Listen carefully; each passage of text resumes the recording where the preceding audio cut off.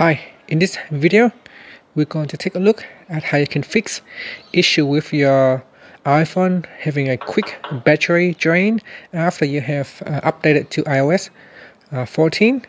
So you may notice your battery go down very quickly uh, after you have updated. So what you want to do is um, on your home screen, make sure that you remove any widgets that you have added to your home screen.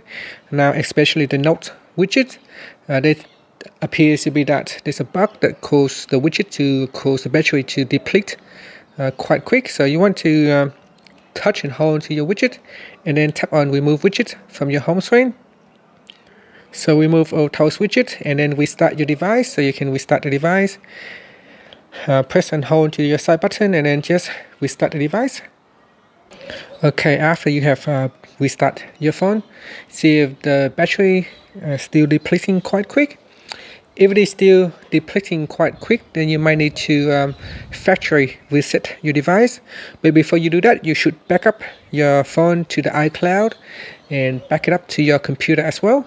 So in iTunes, so you want to go into settings, then go to your iCloud, and in your iCloud, so tap on iCloud and go all the way down, and you want to look for iCloud backup so go into iCloud Backup and make sure iCloud Backup is switched on and tap on the Backup Now button. So tap on that to uh, perform a backup to the cloud. Now if your iCloud account does not have enough uh, storage space to backup everything, what you can do is purchase um, some storage space just for the purpose of backup. So once you have uh, backup and then you have restored all the data back to your device, you can then uh, cancel your subscription so that you don't have to uh, keep paying for your storage device. So you can give that a try simply by purchasing uh, the more iCloud storage and then uh, back it up. Now if you do have a computer you don't need to purchase that extra storage. You can uh, back up your phone to your iTunes. So the next thing you want to do is plug your phone to the computer. Then on your computer you want to start up iTunes and make sure that you select your phone icon up here. That will go to your phone. And then you want to go to summary and in summary there is a backups section on your right hand side.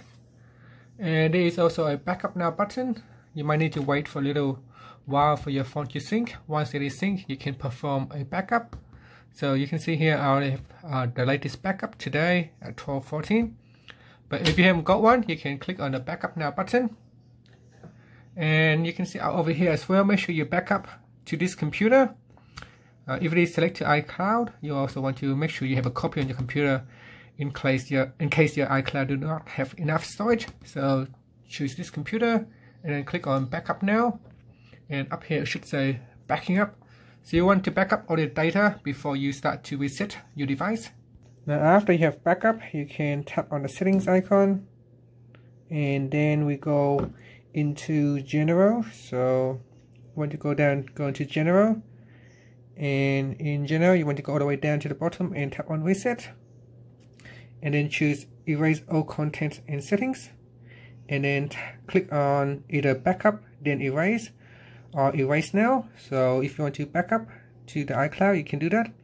But I highly recommend you backup to iTunes as well just in case something goes wrong with your iCloud account and once you um, erase your device you can set up again and then uh, try to see if the battery drains still have a problem. So don't try to restore immediately just have a look to see if you have, still have a problem with the battery drain. And then after that you can restore your data back from your computer or your iCloud account. So give that a try and see how you go. Thank you for watching this video. Please subscribe to my channel for more videos